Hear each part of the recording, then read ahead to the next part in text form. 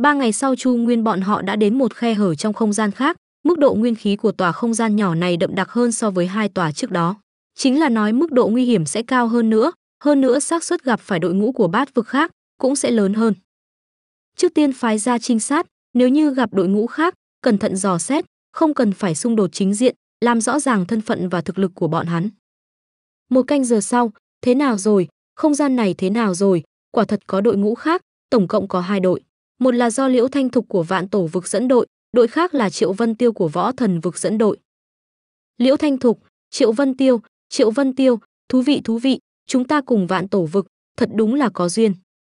Trinh sát của chúng ta cũng gặp người của đối phương, bọn hắn phát hiện chúng ta rồi, Liễu Thanh Thục, Triệu Vân Tiêu cũng phái người truyền tin tức tới, nói muốn tổng các chủ người đi cùng bọn hắn gặp mặt nói chuyện một chút, thương lượng phân phối linh cơ trong tòa tiểu không gian nhỏ này.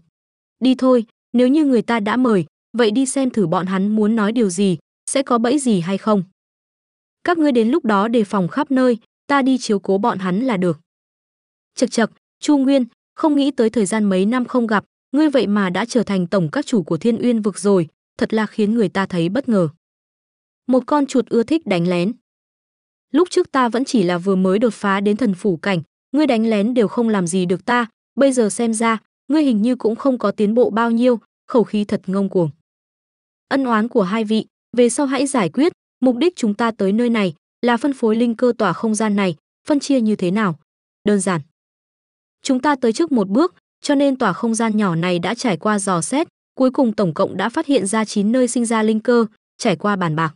Vạn tổ vực chúng ta phân trong đó 4 tòa, võ thần vực là 3, còn thừa hai tòa, do thiên liền vực các người đi thu thập, thế nào, ngươi thấy chia như thế là được chưa? Tổng các chủ Chu Nguyên, phân phối như vậy, Thiên Uyên vực các ngươi có thể sẽ hơi chịu thiệt thôi, nhưng thứ tự trước sau, mọi người hòa bình một chút, nếu không chém chém giết giết tổn thương hòa khí, luôn luôn không tốt, có đúng không? Ta hiểu, tốt lắm, nếu như hiểu thì tốt, thế thì ta. Đáng tiếc thật ngại quá, ta là người lỗ mãng, ưa thích chém chém giết giết, cho nên, chín tòa linh cơ này, ta toàn bộ đều muốn. Các ngươi, một phần cũng đừng hòng lấy đi, được. Tổng các chủ Chu Nguyên đúng là khẩu khí lớn thật, dám dùng từ thô lỗ để nói về vạn tổ vực ta. Ngươi là người đầu tiên sau này nếu gặp Triệu sư huynh, ta sẽ đem những lời này nói thật lại với hắn, Triệu Mục Thần đúng không? Yên tâm đi, thù oán của ta và hắn đã có rồi. Làm sao ngươi có thể chạy thoát được lòng bàn tay của hắn? Đúng là ăn nói bậy bạ, vị trí tổng các chủ này của ngươi, không lẽ là lấy được như vậy? Nếu thật sự gặp đại sư huynh, dựa vào thực lực của ngươi, sao có thể sống sót mà bỏ trốn được? Thủ đoạn này của ngươi cũng không phải ít, còn cần dùng cách này để nể mặt mình, thật sự là ngây thơ. Chu Nguyên, ta không hứng thú đùa với ngươi những chuyện này, ngươi không tán thành đối với kết quả bàn bạc của chúng ta, thế thì hãy mang theo người của ngươi, rời đi khỏi tòa không gian nhỏ này đi. Rời đi? Ngươi cho rằng ngươi là Triệu Mục Thần? Sao thế? Nghe ý này của ngươi là muốn dùng cách mạnh. Tuy nói tổng các chủ Chu Nguyên ngươi dẫn theo chính là tinh nhuệ của Thiên Uyên vực, nhưng nếu như ngươi muốn làm loạn, vậy chúng ta cũng chỉ đành liên hợp một chút. Ừm ở phía sau, dạy cho tổng các chủ biết. Cái gì gọi là quy củ? Xem ra là đàm phán không thành rồi, ừm, tất cả chúng ta hãy dựa theo kế hoạch mà làm. Một khi khai chiến, thật muốn đem nguyên khí triệt để bộc phát. Nhưng sau này sẽ rất khó hồi phục, cứ làm như hắn đã nói đi, qua lần này mới có lần sau. Sao vậy, xem ra các ngươi không dự định tiếp tục nói rồi, đây là dự định hai đánh một sao. Tổng các chủ Chu Nguyên dù sao cũng là nhân vật số một thần phủ cảnh của Thiên Uyên vực, chúng ta cho đãi ngộ như vậy, không phải là chuyện đương nhiên sao? Đây chính là lựa chọn cuối cùng của các ngươi sao? Chu Nguyên, lúc này, ngươi vẫn còn giả bộ cái gì? Thật sự cho rằng ngươi xếp hạng thứ 9, trong mắt có bao nhiêu bản lĩnh sao? Lúc trước ta không có một trưởng đập chết người, hôm nay ngược lại là có thể cho ngươi thử lại lần nữa. Chu Nguyên, nếu ngươi đã không biết điều vậy ta hôm nay cũng chỉ có thể để cho ngươi hiểu rõ một chút, đã nể mặt lại không chịu, cũng đừng trách ta dẫm lên người nguyên khí tinh thần của hắn lại tăng lên rồi, võ thần chú sao? Giống như bí pháp của tứ đạo nguyên văn có thể tạm thời tăng lên nội tình của nguyên khí bản thân, cửu vực quả nhiên danh bất hư truyền. Võ thần chú có 5 đạo chú ấn, bây giờ ta chỉ có thể ngưng luyện bốn đạo mà thôi.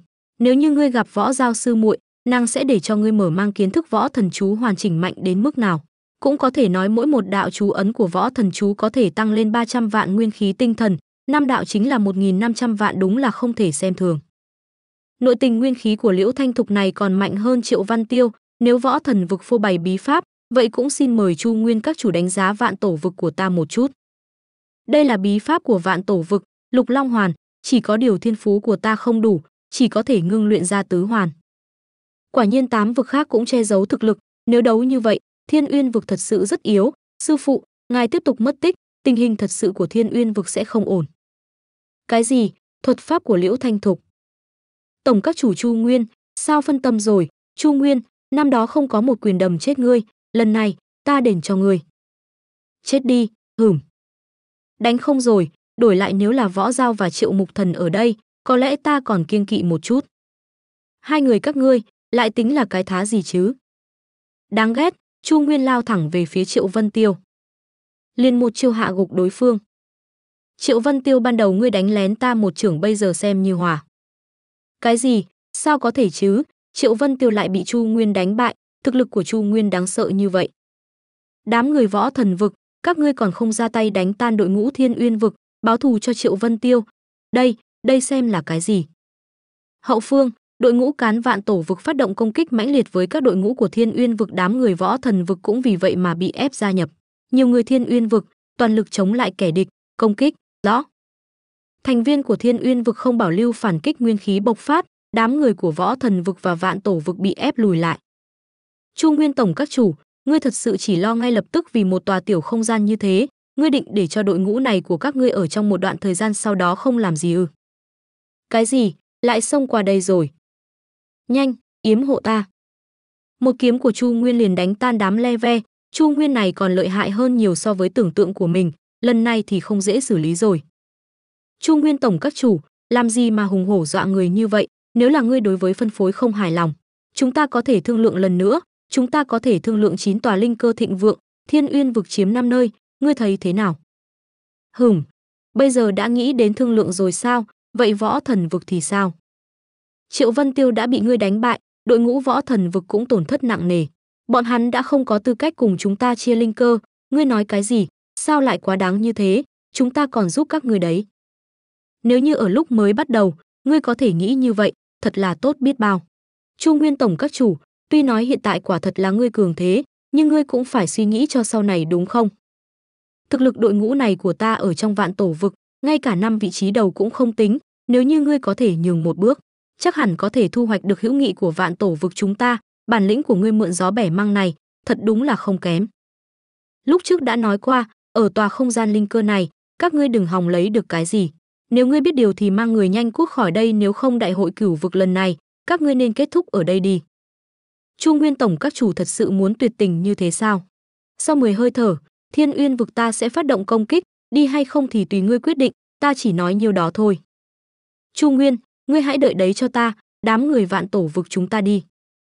Tổng các chủ uy vũ, tốt quá vạn tổ vực bị đuổi đi rồi, tốt quá, đúng vậy cuối cùng đã bình yên rồi. Lần này vạn tổ vực triệt để đã kết thù rồi. Thu thập Nguyên Châu vẫn lạc. Chu Nguyên đang gấp rút đuổi theo vẫn lạc yêu ảnh, muốn chạy. Viên cuối cùng cũng đã tới tay, bây giờ đã thu thập đủ 9 viên Nguyên Châu vẫn lạc. Chu Nguyên, đây chính là nơi linh cơ thịnh vượng cuối cùng trong tòa không gian nhỏ này, dặn dò xuống dưới, mọi người hãy thu thập linh cơ nơi đây đi. Trước đó cùng đội ngũ của vạn tổ vực, võ thần vực giao thủ, người của chúng ta đều không có bảo lưu. Nguyên khí toàn bộ đã bộc phát ra hết, bây giờ nguyên khí tiêu hao rất lớn dưới tình huống này nếu như đi không gian nhỏ mới. Sợ là sức chiến đấu của chúng ta rất đáng lo, mà nếu như muốn chờ bọn họ hồi phục, ít nhất cần thời gian 3 ngày. Không cần lo lắng, đây là cái gì? Ngươi trước tiên đem nguyên khí thiên địa hút vào trong ngọc bài, sau đó lại từ trong ngọc bài hấp thu nguyên khí, ngươi thử một chút. Đây là ngọc bài, là món đồ mới mà ngươi sáng tạo ra sao, ngươi cứ thử xem, cũng có thể nói, ta đem nguyên khí của thiên địa hút vào trong ngọc bài này, sau đó từ trong ngọc bài hấp thu nguyên khí. Thế thì để ta thử. Nguyên khí thiên địa đi vào trong ngọc bài, phía trên có lộ ra ánh sáng, nguyên khí màu xanh vàng phía trên phát ra giao long trường ngâm. Thế nào, có tác dụng không? Rất có tác dụng, vốn dĩ muốn luyện hóa nguyên khí cùng bạo trong vẫn lạc chi uyên này, cần tốn rất lớn công phu. Không ngờ nguyên khí thiên địa mà ta hấp thu lại không có loại thừa số cùng bạo nào, đây là cái gì? Đây là tịnh hóa ngọc bài mà ta sáng tạo, có thể tịnh hóa thừa số cùng bạo trong nguyên khí thiên địa có vật này. Tốc độ nguyên khí của các ngươi hồi phục nhanh hơn, hẳn là có thể đủ đạt tới 8 phần ngoại giới. Nhưng mà nó cũng có một khuyết điểm, nó không thể trường tồn, nhiều nhất cũng chỉ có thể sử dụng được 3 ngày, 3 ngày sau nó sẽ mất đi hiệu quả, chỉ có thể giao cho ta luyện chế lại. Những ngọc bài này làm phiền ngươi phân phát xuống dưới, để bọn họ sau khi thu thập xong linh cơ, nhanh chóng khôi phục nguyên khí, tiếp theo chúng ta còn phải chinh chiến, ừm, mọi người nhất định sẽ rất vui. Trong khoảng thời gian tiếp theo Chu Nguyên đem Nguyên Châu vẫn lạc luyện hóa hấp thu. Đám người của Thiên Uyên vực dưới sự giúp đỡ của Ngọc Bài, tất cả đều đã hồi phục thực lực, chúng ta xuất phát thôi, đi tòa không gian tiếp theo. Vâng, tổng các chủ. Chờ một chút, không gian này. Thiên địa xanh um xuất hiện trước mắt này, dày đặc cơ hội sống sót, ở phía xa có một khu rừng cổ đứng sừng sững. Trong đó dường như có tiếng gào của thú truyền ra ngoài, nguyên khí thiên địa trong tòa không gian này dày đặc đến trình độ khá kinh người. Mà ở trong nguyên khí thiên địa xanh um kia có thể cảm ứng được một loại hơi thở kỳ diệu khiến thần phủ đang còn run rẩy lên, tiên thiên linh cơ. Bên trong dãy núi này, hẳn là còn có không ít linh cơ, đúng, có thể cảm ứng được rồi, cái này cũng đã nói lên chúng ta có khả năng sẽ gặp phải đội ngũ chủ lực của tám vực khác. Tiểu Linh tỷ vất vả tỷ dẫn dắt các đội trinh thám xuất phát trước hãy tìm định vị trước, ta sẽ đi ngay, Chu Nguyên nếu như chúng ta gặp phải đội ngũ chủ lực khác thì phải làm sao? Không sao. Mặc kệ tới là ai, có thể đánh thì đánh, không thể đánh, vậy thì chạy. Bên kia có người, là đội trinh thám của chúng ta. Truyền lệnh cảnh giác, trinh sát gặp phải đội ngũ khác, Chu Nguyên người xem kìa. Là đội ngũ ngự thú vực, chỉ là không biết đội ngũ này do ai thống lĩnh. Hy vọng không phải đội ngũ chủ lực, nếu không có thể sẽ có phiền phức. Ngươi đoán không sai, đây chính là đội ngũ chủ lực của ngự thú vực. Y ra y ra, không ngờ là gặp tổng các chủ Chu Nguyên ở đây. Thì ra là viên côn các hạ, khu vực này, thiên uyên vực chúng ta tới trước, không biết các hạ vì sao lại đuổi trinh sát của chúng ta. Lời này của Chu Nguyên tổng các chủ không đúng rồi, quy củ đại hội cửu vực, cho tới bây giờ không phải tới trước thì được đâu. Vậy xem ra, viên côn các hạ vẫn là có ý định cùng chúng ta đánh một trận rồi. Chu Nguyên tổng các chủ, nếu đội ngũ giao chiến, làm to chuyện khó tránh khỏi có chỗ tổn thương, chi bằng. Hai người chúng ta tới chơi. Trong chốc lát đã bộc phát lên 45 triệu nguyên khí nội tình, trước top 8 của thần phủ bảng quả nhiên là không tầm thường. Nhưng mà nếu như viên côn các hạ muốn chơi thế thì ta sẽ chơi tới cùng. Khí phách này của Chu Nguyên Tổng các chủ cũng không nhỏ, ta hiểu, Chu Nguyên Tổng các chủ dám cùng Từ Minh rằng co, tất nhiên là có chút bản lĩnh, chỉ có điều. Tăng lên 61 triệu nguyên khí tinh thần đây là bí thuật tăng phúc của ngự thú vực đúng không? Đúng vậy, đây chính là bí thuật tăng phúc của ngư thú vực ta. Vạn thú huyền văn, chỉ có điều vẫn là không so được với Chu Nguyên tổng các chủ, lại có thể đem tứ nguyên văn của Thiên Uyên vực khai phát ra hình dạng thứ hai. Cho nên ta cũng không khách khí nữa đâu. Đãng ma kiếm hoàn thuật. Mạnh thật, không hổ danh là cường giả thần phủ cảnh hậu kỳ, mạnh thật. Linh ưng đồng thuật, huyền thánh thể. Một chiêu này của tổng các chủ Chu Nguyên đúng là lợi hại thật, có chút thú vị. Thú ma thể, phòng ngự.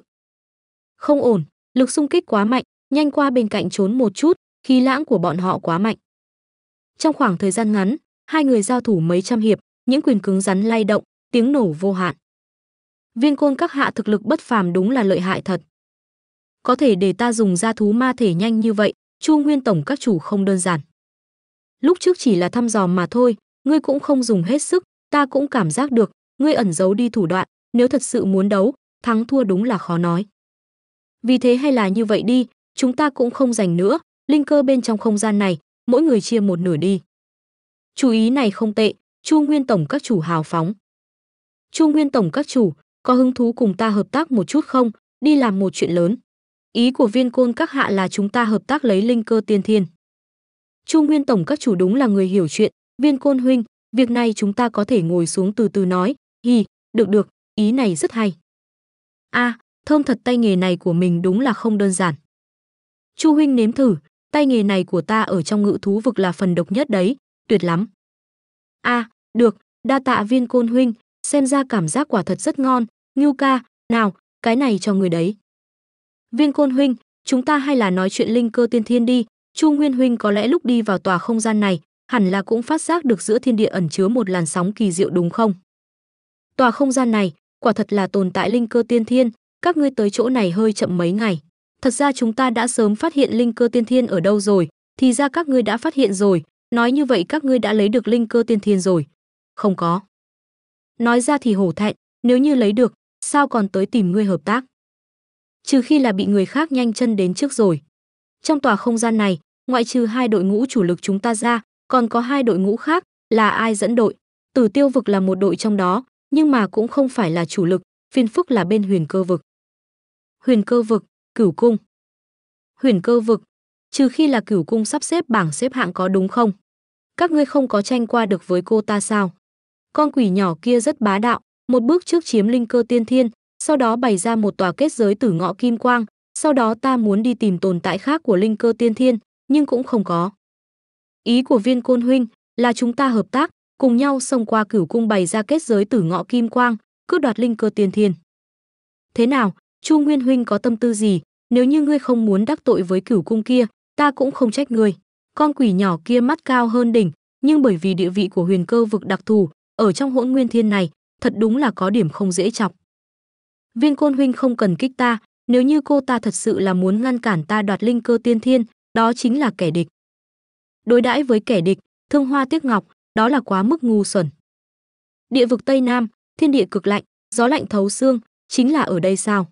Đã sớm nghe nói trình độ nguyên văn của huyền cơ vực gắn với thánh văn vực, bây giờ thấy một lần, quả thật là danh bất hư truyền. Nếu như là chân ướt chân giáo cùng cửu cung đấu một trận, ta ngược lại thật ra không sợ, lại để cho cô ta bố trí xong kết giới, ta thật sự là bị nàng đùa nghịch thành con ruồi không đầu. Ừm. Ta còn nói là ai đến, thì ra là vị tổng các chủ của Thiên Uyên vực kia, Chu Nguyên cùng Tô Ấu Vi sư tỷ quen biết, chúng ta không cần thiết làm khó hắn. Ngươi suy nghĩ nhiều rồi, Tô Ấu Vi sư muội sao lại quen biết với lớp người quê mùa như vậy, cũng không có giao tình như ngươi tưởng tượng. Hơn nữa, đi vào đại hội cửu vực, đều là đối thủ cạnh tranh của nhau, nếu gặp lại sao có khả năng nương tay.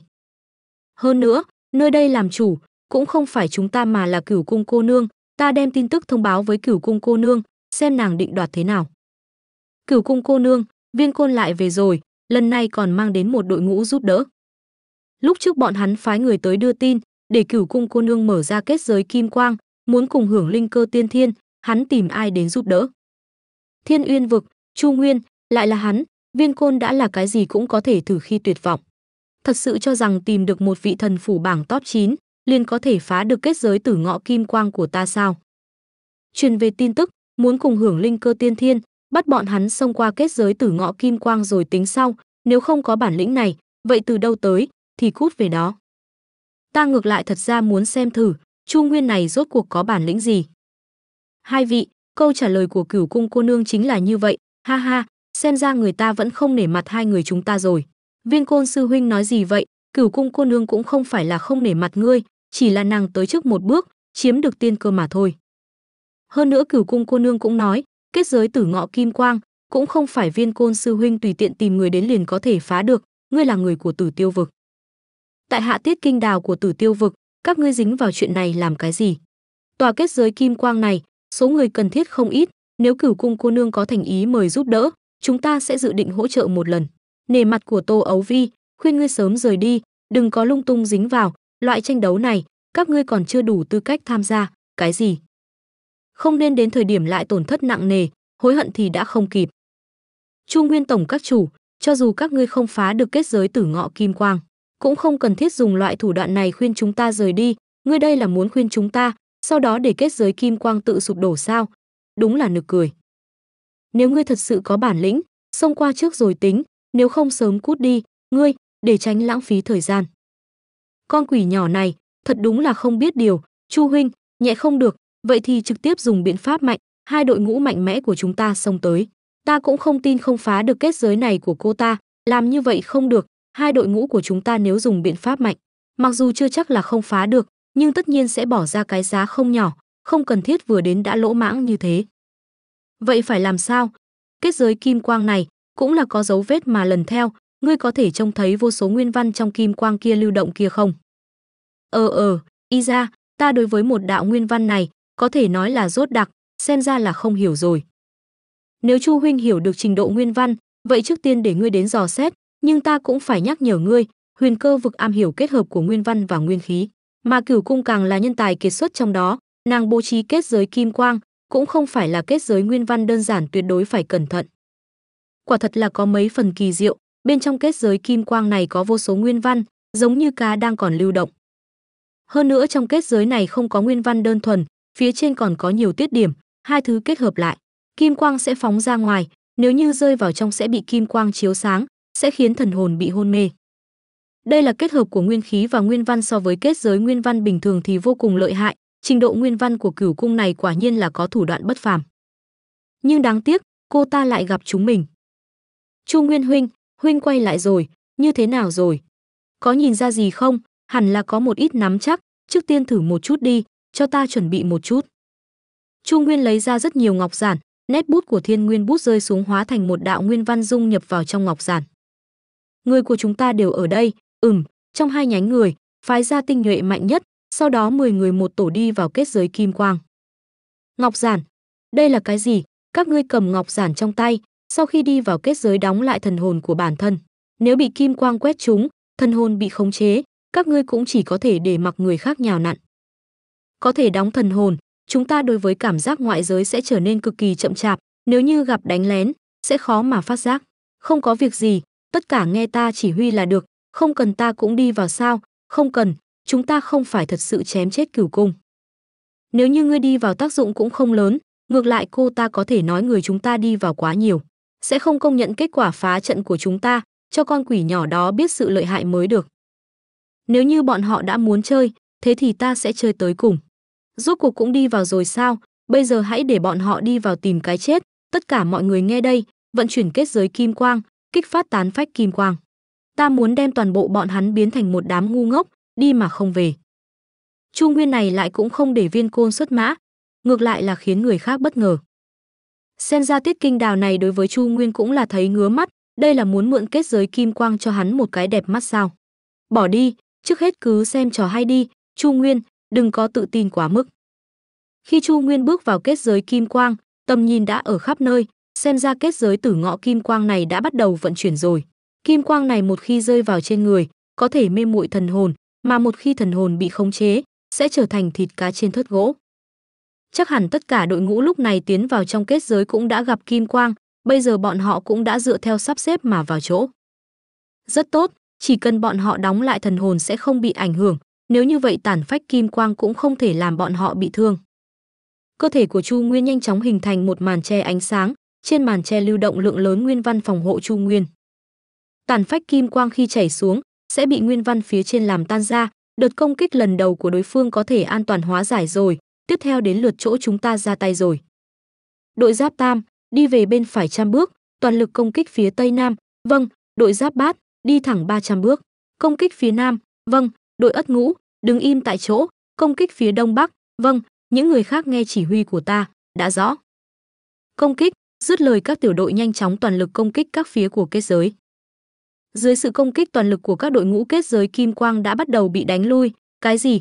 Kết giới sao lại bị tan ra rồi, xuất hiện rồi. Thì ra những đội ngũ của Tử Tiêu vực đều là dựa vào những chiếc gương này để duy trì kết giới. Xem ra đó chính là tiết điểm của kết giới kim quang, nếu như nhược điểm đã xuất hiện chuyện tiếp theo sẽ dễ xử lý hơn rồi. Diệt bọn chúng, đánh nát gương kim quang đó chính là tiết điểm ở trong kết giới kim quang, hiểu rồi, đánh nát bọn chúng, diệt bọn chúng. Nhiều người của Thiên Uyên vực và Ngự thú vực toàn lực vận chuyển nguyên khí công thế mạnh mẽ, khiến tiết điểm của kết giới ở Tử Tiêu vực quân lính tan rã. Cái gì? Chu Nguyên làm sao có thể nhanh như vậy liền làm rách tiết điểm kết giới được chứ? Làm sao hắn có thể làm được? Kết giới bị phá rồi, Chu Nguyên lại có trình độ nguyên văn cao như vậy sao? Tiết Kinh Đào, thật đúng là vô năng, đến ngay cả kết giới cũng không giữ được, trong thời gian nửa nén hương cũng không chống đỡ lại được. Đã bị Chu Nguyên phá hoại kết giới rồi, không thể để hắn tiếp tục làm như vậy được nữa. Nhưng lúc này mới có chút thú vị, trong chớp mắt chấn động ở trong kết giới đã lắng xuống, sụp đổ của kết giới đã dừng lại rồi sao? Xem ra lần này cửu cung đích thân ra tay rồi, cuối cùng đã ép bổn tôn ra ngoài rồi. Lúc này đội ngũ ở bên ngoài đã nhìn thấy kết giới bị co lại, cảm giác kết giới bắt đầu bị phá nát, đây là kết giới sắp được phá rồi sao? E rằng là chưa, cái kết giới kim quang này mặc dù co vào, nhưng cũng không có lộ ra dung chuyển quá mức. Bây giờ có tiết tấu đang khống chế thu nhỏ, cảm giác này ngược lại còn nguy hiểm hơn vừa nãy, đây là cửu cung tiếp tay rồi. Cửu cung, lúc trước không phải cô ta khống chế kết giới sao? Lúc trước hẳn là tiết kinh đào khống chế. Thời điểm nàng vừa mới bắt đầu chỉ sợ cũng không cảm thấy Chu Nguyên có thể phá mất kết giới kim quang nhưng năng lực của Chu Nguyên hiển nhiên nằm ngoài dự đoán của nàng. Lúc trước chúng ta có thể cảm giác được dấu hiệu kết giới kim quang xuất hiện hỗn loạn vậy hẳn là Chu Nguyên làm được. Dựa theo loại tình huống kia mà tiếp tục nữa, kết giới tất phá. Cho nên Cửu cung ngồi không yên, nàng đá tiết kinh đào rơi xuống, chuẩn bị tự mình ra tay cùng Chu Nguyên đọ sức, nàng vừa ra tay, liền trực tiếp chủ động cắt đứt tiết điểm lúc trước Chu Nguyên phá hỏng, cho nên chúng ta mới có thể trông thấy kết giới kim quang co vào. Thì ra là thế, nhưng bây giờ kết giới bị Chu Nguyên phá rất nhiều tiết điểm, cho dù Cửu cung tiếp nhận, cũng rất khó nghịch chuyển a. Tòa kết giới tử ngọ kim quang này hẳn là chia làm hai tầng trong ngoài, trước đó Tiết Kinh Đào khống chế chẳng qua chỉ là tầng ngoài mà thôi. Hiện tại Cửu cung bỏ tầng ngoài, làm rùa rụt cổ ở tầng trong, cảm giác càng khó giải quyết hơn. Tiếp theo mới là thời điểm phiền phức. Kết giới đã thu lại rồi, bây giờ thật sự còn khó giải quyết hơn, Cửu cung trực tiếp vẫy đao cắt thịt, bỏ luôn tiết điểm trước đây mà mình đã phá hoại, tiếp theo phải thăm dò ra tiết điểm của những người còn lại, e rằng sẽ càng khó khăn hơn. Mọi người nghe lệnh, đội tứ giáp tiến lên 200 trượng, bên phải đi 300 trượng, công kích hướng tây bắc, đội giáp bát đi sang trái 100 bước, công kích phía chính nam, các đội viên dưới chỉ lệnh mới của Chu Nguyên, nhiều lần triển khai công thế.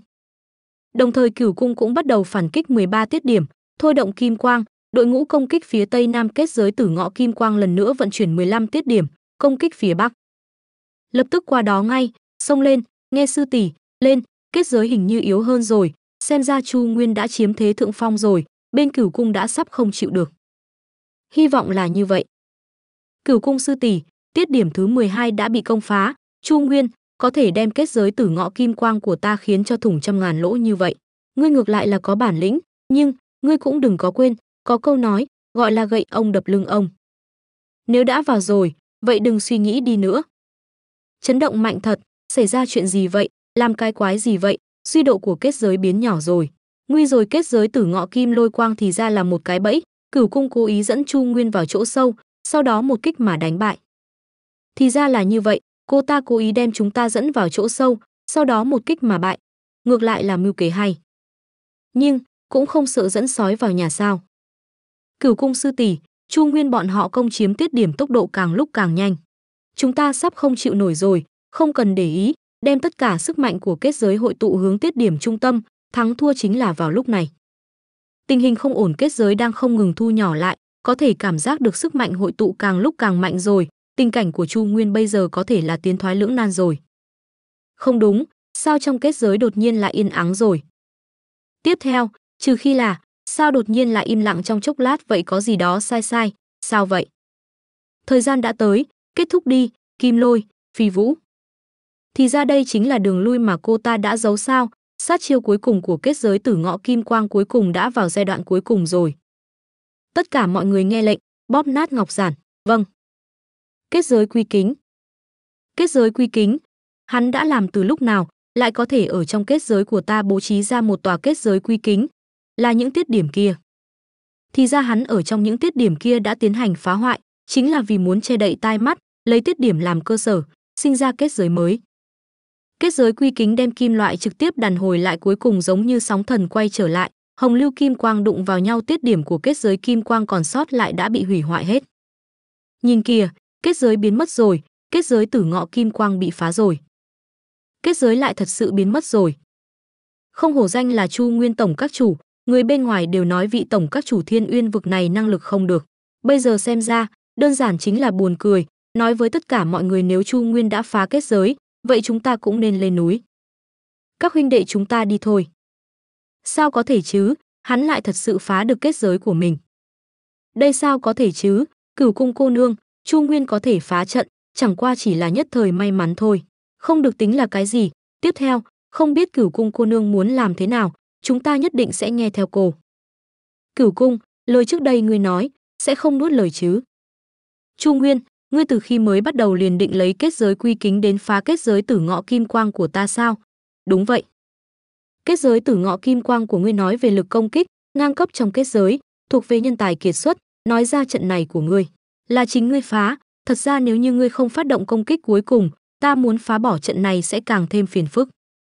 Có thể ở trên xác kết giới của ta, dựng ra một tòa kết giới khác, trình độ nguyên văn của ngươi rất lợi hại, lần này là ta thua, Chu Nguyên, ta xem thường bản lĩnh của ngươi rồi.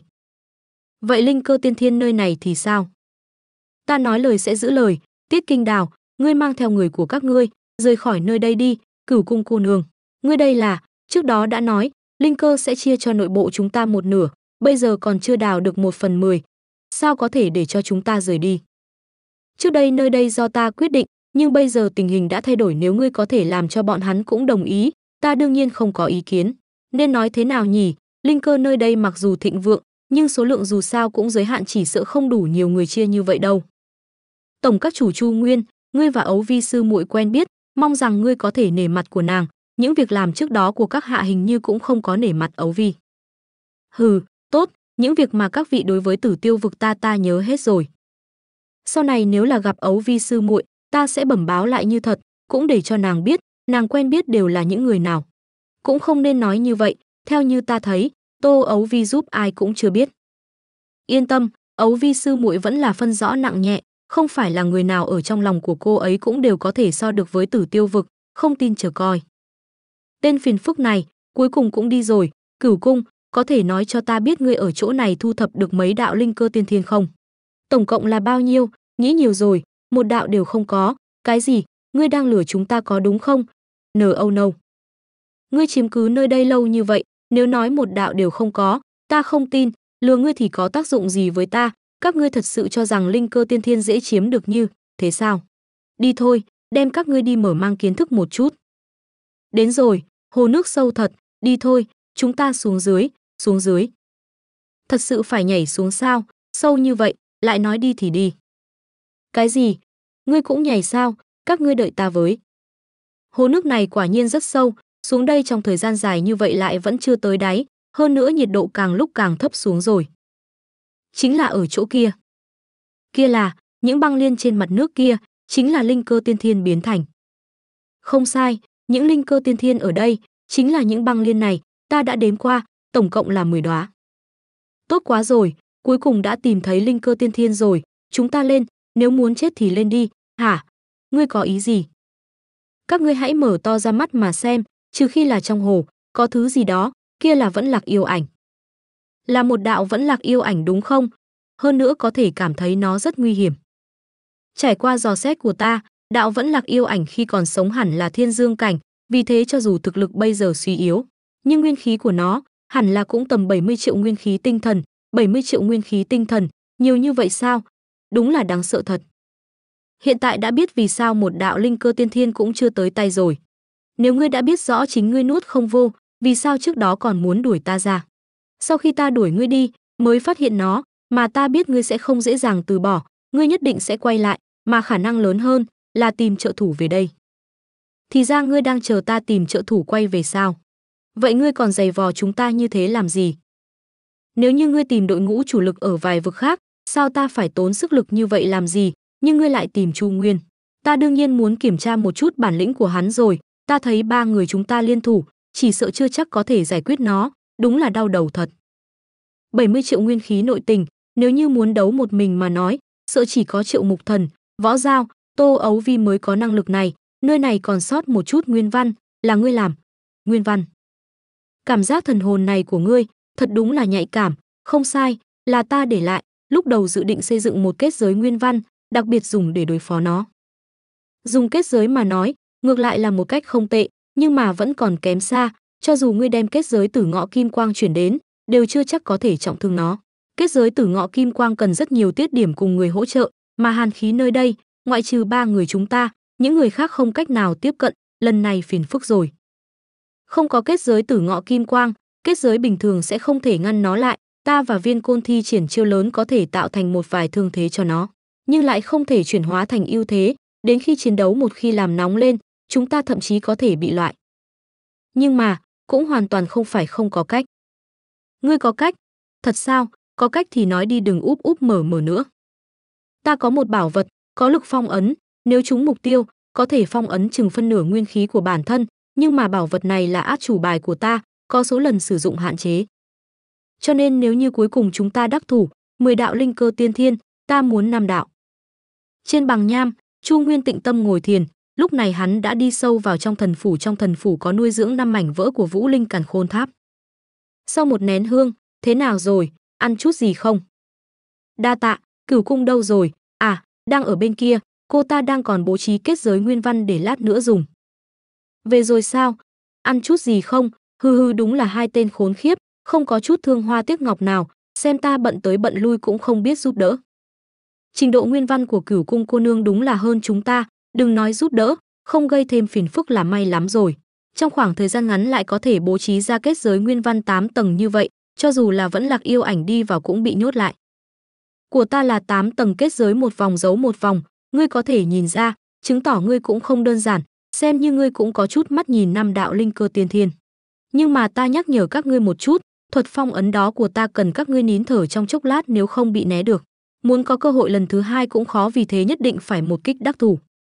Đợi chút nữa động thủ, viên côn đánh chính diện, tùy thời cơ đem nó dẫn vào kết giới, ta lấy kết giới đem nó cuốn vào, sau đó Chu Nguyên tìm cơ hội phát động thuật phong ấn, đều không có ý kiến. Biết rồi, dù sao thì da thịt ta dày, chính là chịu đánh. Nếu như vậy, nếu đã chuẩn bị thỏa đáng, vậy động thủ đi. Đến rồi, vẫn lạc yêu ảnh lao thẳng về phía viên côn. Chật, đúng là quá hung đi. Ngưu ca, đã đến lúc ngươi ra sân rồi, GRU. Ta đến rồi, Ngưu ca chúng ta cùng nhau lên, Ngưu ma thần giác thuật. Lực công kích của viên côn đúng là mạnh thật, lại có thể hợp lực với Ngưu thần đánh bay vẫn lạc yêu ảnh. Bọn họ đắc thủ rồi sao? Chu Nguyên ngươi nhìn thời cơ, e rằng chưa đến lúc. Không hay, ta đã hoàn toàn chọc điên nó rồi. Ngưu ca, nhanh chạy đi, nó tức rồi. Nguyên khí bộc phát đáng sợ thật, còn không chạy cái mạng nhỏ này cũng mất luôn, tăng tốc Ngưu cả. Xông vào kết giới. Nguy rồi trừ phi tên này đã cảm nhận được kết giới rồi, phải nhanh chóng dụ nó đi vào mới được. Ngưu ca, phóng đại chiêu, cho nó biết sự lợi hại GRU. Vẫn lạc yêu ảnh hứng chọn một mưa cướp, có mùi thơm, oẹ oẹ. Mắc câu rồi, đến rồi, tiếp theo dựa vào ngươi, cửu cung. Cửu cung nhanh chóng ra cố kết giới. Không được, nó đang phản kháng sức mạnh của kết giới. Không hay, kết giới bị đập nát mấy tầng rồi, lần này thì nguy to, Chu Nguyên ngươi còn không ra tay sao, ta sắp không chịu được rồi. Không được, mình vẫn không thể ra tay, bây giờ vẫn chưa phải là thời cơ tốt nhất. Ngưu ca, tình hình này không đúng, đợi lát nữa thấy có gì đó sai sai thì bỏ chạy. Chu Nguyên, ta sắp không hai chịu được rồi, ngươi rốt cuộc có được không vậy, kết giới sắp bị phá rồi. Bây giờ đã đến lúc rồi. Chu Nguyên lập tức thôi động mảnh vỡ của Vũ Linh Càn Khôn Tháp. Ai bảo ngươi đánh ta, thành công rồi sao? Thành công rồi. Hi hi, cuối cùng cũng có cơ hội rồi đến lúc ta ra sân rồi. Tên viên côn này lại chơi với yêu ảnh. Đúng là mạnh thật cho dù bị phong ấn một phần nguyên khí vẫn tàn nhẫn như vậy, Chu Nguyên huynh phong ấn như vậy, rốt cuộc là có được hay không thế? Ai bảo ngươi lãng phí thời gian với hắn làm gì, cũng phải để ta ra tay mà thôi. Chu Nguyên gia nhập vào chiến đấu, vẫn lạc yêu ảnh cuối cùng đã bị đánh bại tiêu tán, Nguyên Châu vẫn lạc, kết thúc chiến đấu rồi, ta muốn thứ này, ta dùng một đạo linh cơ tiên thiên đổi lấy. Không vấn đề, quả thật lần này công lao của ngươi không nhỏ, ta cũng đồng ý. Bây giờ linh cơ tiên thiên của tòa không gian này đã bị chúng ta tìm thấy nơi này cuối cùng cũng đã đến điểm cuối rồi, có thể bắt đầu phân chia chiến lợi phẩm rồi. Đi. Được rồi, lần này, hợp tác vui vẻ. Nói cho ngươi một chuyện, ta lúc trước ở trong một không gian gặp qua Từ Minh, Thiên Uyên vực các ngươi có một đội ngũ, bị hắn đá ra ngoài hoàn chỉnh, còn chết và bị thương mấy chục người, đội trưởng của đội ngũ kia hẳn là các chủ của sơn các các ngươi, Hàn Uyên. Từ Minh, cái tên Hàn Uyên kia tuyệt đối biết ứng phó thích hợp, ta nhận thua có gì thì từ từ nói. Đối diện với kẻ địch như Từ Minh hắn tuyệt đối không nhận thua, không đến cảnh ngộ để người khác ép hắn rút lui. Ta biết rồi đa tạ. Lúc đó ta có thể ra tay ngăn cản nhưng ta nghĩa vụ này, đến lúc đó ngươi đừng trách ta khoanh tay đứng nhìn là được, ta cũng hết cách, sao ta có thể trách người được chứ ta cũng tự mình hiểu lấy. Bây giờ tòa không gian này đã bị rửa sạch, chúng ta hãy tạm biệt ở chỗ này đi, lần sau gặp lại, không biết là địch hay bạn. Nếu như lần sau chúng ta cùng bắt gặp Từ Minh, chúng ta có thể liên thủ đánh hắn một trận, ta thấy hắn cũng không vừa mắt lâu lắm rồi, chúng ta đi đây. Thu thập linh cơ kết thúc ở đây, bây giờ phải chăm chỉ tu luyện thôi. Chu Nguyên bắt đầu tu luyện Nguyên Châu vẫn lạc. Hửm, kia là xuất hiện rồi, kia là. Đây, mở ra rồi, không gian siêu cấp. Nghe nói điều kiện mở của không gian siêu cấp là cần một đội ngũ có quy mô nhất định đều sẽ lấy được linh cơ tiên thiên mới có thể mở.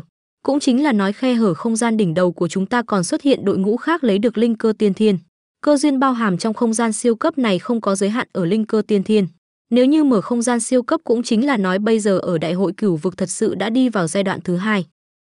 Tiếp theo cạnh tranh đã kịch liệt hơn rồi. Kia là, Viên Côn và Cửu Cung bọn họ, Chu Nguyên huynh he he he, chúng ta quay lại nữa rồi. Không ngờ, xem ra tạm thời chúng ta chưa tạm biệt được đâu. Mở không gian siêu cấp, đều là bất ngờ đối với tất cả mọi người ở đại hội cửu vực bây giờ. Chu Nguyên vào lúc này mà nói hắn cần tranh thủ thời gian lợi dụng Nguyên Châu vẫn lạc để tiến hành tu luyện. Sức mạnh mỏng manh xông vào trong thần phủ của Chu Nguyên bắt đầu có sức xung kích vào tường thần phủ. Dưới sự đánh bóng của sức mạnh mỏng, màn che của tường thần phủ tầng thứ 9 hình như với mắt thường có thể nhìn thấy tốc độ mỏng manh, cho dù nhục thân của Chu Nguyên đều cảm nhận được một chút đau đớn. Theo sự trôi qua của thời gian, sức mạnh của Nguyên Châu vẫn lạc đã bị cạn kiệt, chết tiệt. Thật sự không ngờ, tường thần phủ cuối cùng lại khó đột phá như vậy, tốn nhiều Nguyên Châu vẫn lạc lại không thể mở được. Trong thần phủ tầng thứ 9 của mình, hình như có tồn tại thứ gì đó áp chế màn che của tường, mới có thể khiến mình nhiều lần xung kích thất bại. Nhưng mà chỉ cần sau này tìm thấy Nguyên Châu vẫn lạc với số lượng nhiều mình nhất định có thể phá vỡ được màn che của tường, đột phá đến cửu thần phủ. Đến lúc đó Triệu Mục Thần, ngươi là người đầu tiên ta chém để chút giận. Chu Nguyên, ngươi không sao chứ? Ta không sao, ngươi ổn định mọi người, chúng ta chuẩn bị xuất phát. Khe hở không gian trên hư không bắt đầu dần dần ổn định lại, hai người cửu cung và viên côn không do dự xông lên trời dẫn đội ngũ đi vào khe hở không gian.